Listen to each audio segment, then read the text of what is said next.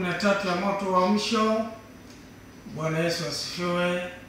Karibuni sana wapenzi na wadau wote ambao unatufuatilia kupitia Harvest Time FM.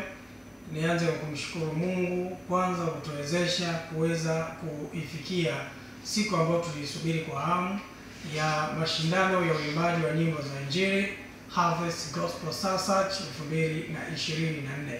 Jina langu naitwa Jason Kihwelo ni manager wa Harvest Time FM na msimamizi mkuu wa gazeti la Jim.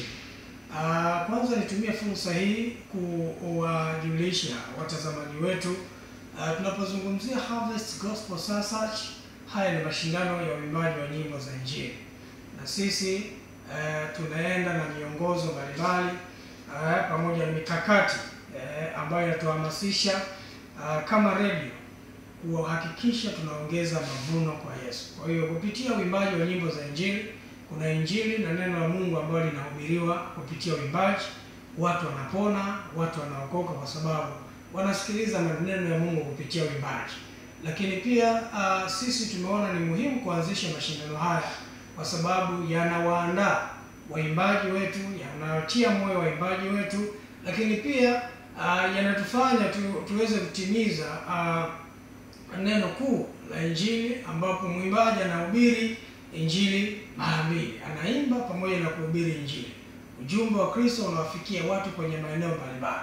Kwa tukaona kwamba watu wanapata neno kupitia redio yetu, waimbaji wanaimba kupitia redio yetu, lakini vizuri sasa tuwakutanishe waimbaji pamoja na waimbaji ambao wamefanya kazi waimbaji kwa muda mrefu, pamoja na viongozi mbalimbali wa serikali, pamoja na viongozi wa kiroho, kwa sababu ukiangalia mashindano haya mgeni rasmi ni askofu wa jimbo la Mashariki Kaskazini, Baba Askofu Aaron Mwashilindi.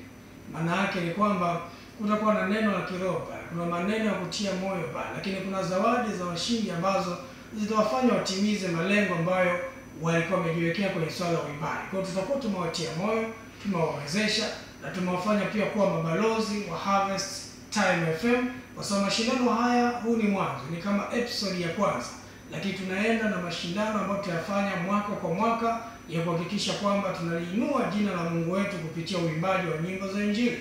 Sisi kama vyombo vya kiroho, vyombo vya dini, tumeona Harvest wa kwanza kuanza.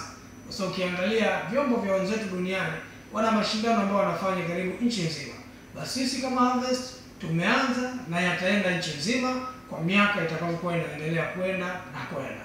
Tuwakaribishe wote kabisa waje wajifunze kupitia uimbaji huu. Wako majudges, wako viongozi mbalimbali, wapo waimbaji wengi ambao tumewaalika akiwemo Obe Alpha, ah, ah, nani mtumishi wa Mungu kutoka Zaburi Singers atakuwepo hapo kwa ajili ya uimbaji. Wapo wengine kama Elizabeth Mlinga, yuko Justin Fabian na waimbaji wengine wengi. Ukiangalia washiriki wetu ambao washiriki watano ndio walioingia kwenye fainali, yuko uh, uh, Ibrahim au Abraham Mvungi, lakini yupo uh, Grace Po, yuko Isaac Po pamoja na kwaya ya Shangwe na wengine wengi. Aled Sylvester ndio watakaochuana kwenye siku hiyo kwenye kinyang'anyiro cha mshindi wa fainali ya Harvest Gospel Star Search.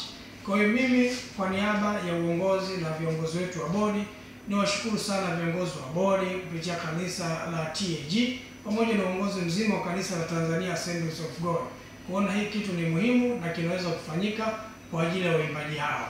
Basi ni wakaribishe wote wanaosikiliza, wote wanaotufuatilia waje washuhudie. Fainali zitafanyika pale chuo cha sanaa TASULA, na sisi kama waandaaji kupitia kanisa zuri la Tanzania Assemblies of God tunaamini pia siku hiyo ujumbe wa Kristo Yesu utafika kwa watu wengi, na watu watatoka na ujumbe, na wengine watabadilika taratibu, na mwisho wa siku wataokoka kupitia jina la Bwana wetu Yesu Kristo, na tutakuwa tumefanya kazi kubwa ya kuongeza watu kwa Yesu. Mungu awabariki sana, karibuni sana. Jeston Kihwelo, manager wa Harvest Time FM na msimamizi mkuu wa gazeti la Jibu. Mungu awabariki. Shalom, shalom.